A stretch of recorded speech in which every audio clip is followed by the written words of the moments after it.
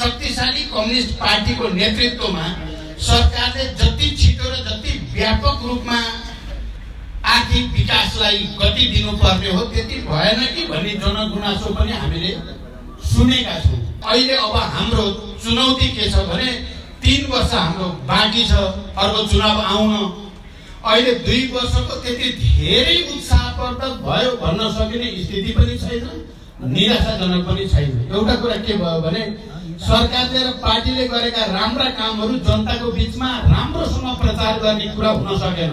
किनकि हाम्रा कमिटी एकता गर्न ढिलो भयो कमिटी क्रियाशील भएनन् अनि राम्रा काम जनतामा प्रचार गर्ने स्थापित गर्ने कुरा पनि राम्रोसँग हुन सकेन। अनि सरकार स्थानीय सरकार या प्रादेशिक सरकारले गर्ने गल्ती कमजोरीलाई सच्याउन पनि पार्टीले जसरी नेतृत्व गर्नु पर्थ्यो त्यसो पनि भएन र केही जनगुनासोहरू देखा परेको हामीलाई थाहा छ। तर अब बाँकी तिन वर्ष अझ भनियो भने अन्तिम वर्ष त चुनावी वर्ष जस्तो भएर आउँछ। हामीले काम गरेर देखाउने जनताको मन जित्ने भनेको दुई वर्ष पुरा दुई वर्ष भन्न सकिन्छ।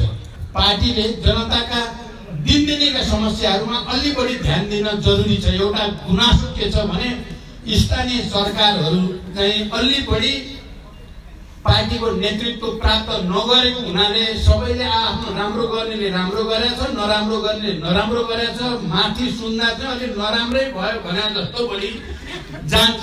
यद्यपि राम्रा गर्ने पनि छन् तर नराम्रो गएको कुरा अलि धेरै गएको छ। अलि अराजकता भयो अलि बढी त्यहाँ अनियमितता भए भन्ने गुनासोहरू छन्।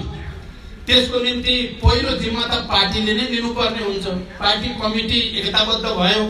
पार्टी कमिटी व्यवस्थित भयो।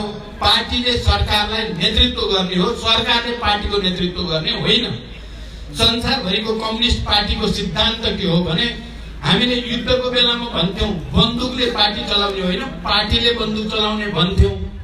राजनीतिक आन्दोलनको बेलामा हामी के भन्छौँ भनेदेखि पार्टीले सत्ता चलाउने हो सत्ताले पार्टी चलाउने चाहिँ होइन। विवेकले सत्ता चलाउने हो।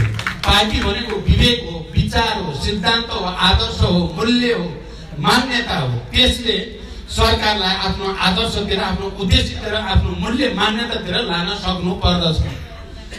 केही ढिलो भयो तर बिग्रेको छैन। हामीसँग बाँकी तिन वर्ष पार्टीलाई एकताबद्ध गरेर जनताको बिचमा गयौँ।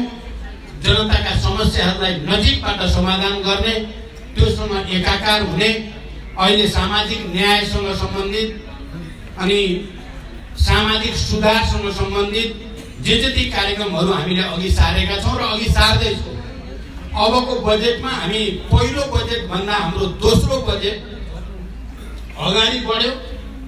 अलि लोकप्रिय भयो तर अबको बजेट चाहिँ अब जो बन्दैछ आउने जेठ पन्ध्र गते त्यो बजेट चाहिँ पुरै लोकप्रिय हुनुपर्छ भन्ने हाम्रो मत छ।